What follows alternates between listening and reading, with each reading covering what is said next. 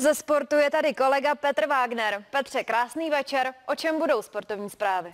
Hezký dobrý večer, tak my se zaměříme na tenisové dvorce antukového turnaje WTA Prague Open.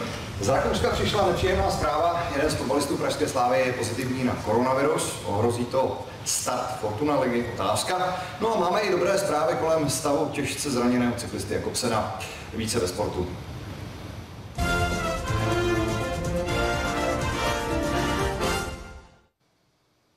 Ještě jednou hezký dobrý večer, vítejte z sportu. Koronavirus opět požaduje v českém fotbale. Mistrovskou slávy dneska mělo čekat třetí přípravné utkání na soustředění v Rakousku proti domácímu Štýrskému Hradci. Místo toho se celý tým předčasně vrací do Prahy. U jednoho z členů se totiž objevila nákaza koronavirem. Na sociálních sítích to potvrdil i předseda představenstva Jaroslav Tvrdík, který dodal, že do karantény musí celý tým. Sešívaní neprozradili, o jakého hráče se jedná. Podle vyjádření Ligové asociaci není v tuto chvíli ohroženo zahájení nového soutěžního ročníku Fortuna ligy. Manévry kolem českého reprezentanta Patrika Šika a jeho působení v bundesligovém Lipsku začínají gradovat.